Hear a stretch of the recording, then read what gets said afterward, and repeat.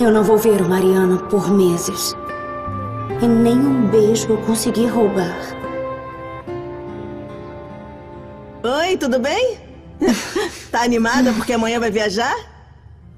É, é, eu confesso que sim. Muito. eu já fiz uma lista de lugares. Claro que o meu irmão conhece tudo, mas não tem ideia de lojas. E eu imagino que você vai querer fazer compras, né? É, obrigada. É uma pena que esses dias eu não consegui ficar com você tanto quanto eu queria. Porque com a Oriana por aqui. É verdade, mas isso vai passar. E aí, já tá tudo pronto pra viagem? O seu irmão me disse que quer levar pouca coisa, porque lá ele vai comprar tudo. Ah, mas que bom!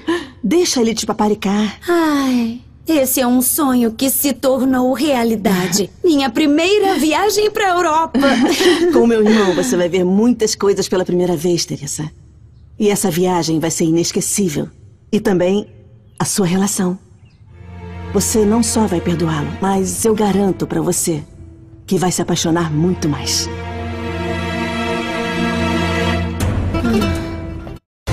I am